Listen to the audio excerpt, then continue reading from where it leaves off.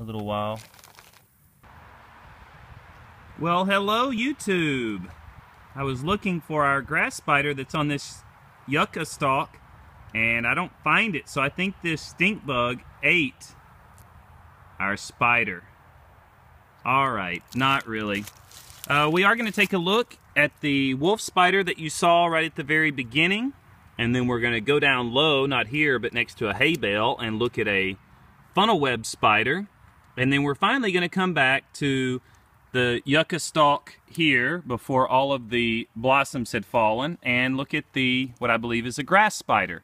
So three different species of spiders that all look very similar and all can be found outdoors in northeast Texas rather abundantly. Come along, hope you enjoy it. Thanks for watching. So this is a, what I kept calling a garden spider.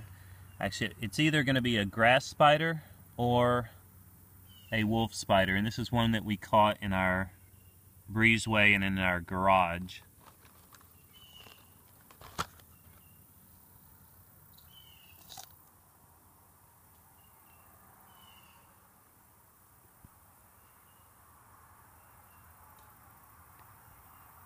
So we'll need to ID this one. Yeah, I'm thinking it is either a grass spider or a wolf spider based on that pattern on the back of it. But I just gotta look it up. I don't have my mac, uh, my little lens, my macro or whatever that little one's called. That's a pretty good sized spider. And there's my hand for comparison surprised she's so frozen, but she was in that container for a little while. Oh, did you see that? She kind of, she kind of lunged at me for just a second there.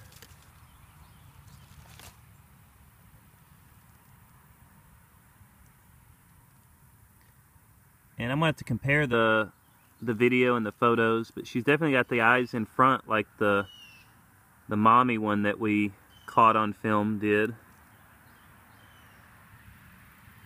So it may be the same type. Anyway, thought that's pretty cool. You know, from a distance she just blends right in. What? What spider? There she is. A garden spider, as we used to call them growing up probably either grass spider or one of the varieties of wolf spider. So, pretty cool.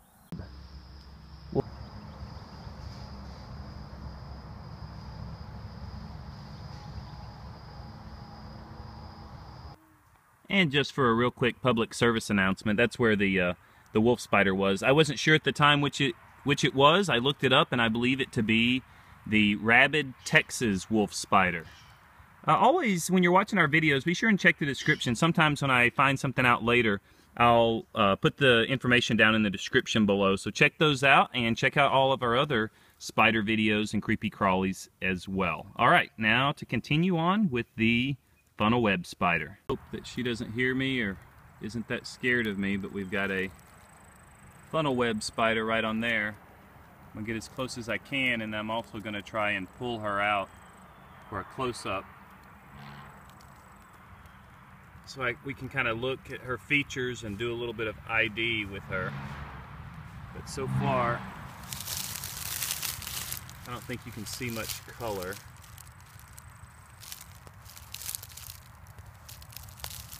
Hmm, I wonder how well you're able to see her. She left. Alright, got her in here.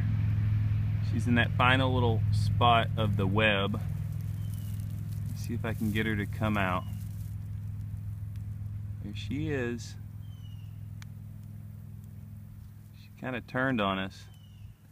So you see how similar she looks to the grass spider and the wolf spiders? This is a funnel weaver. Nurse, uh, I don't know if it's the same as a nursery spider. And look, you can see the spinneret. She has a very elongated, I don't know if you can see it now, spinneret.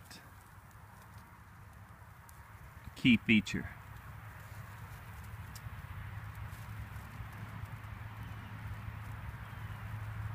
Pretty cool, huh?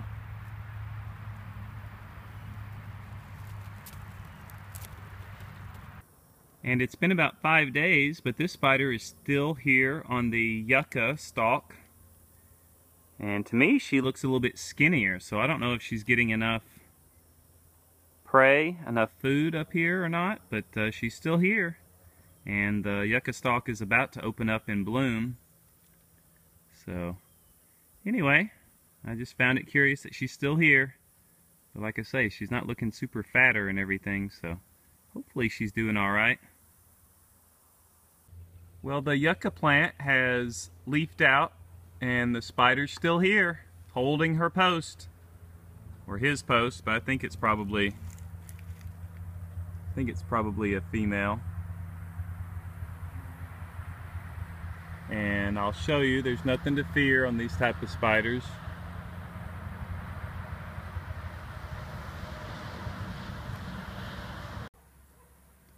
See if I can get her to come around to your side.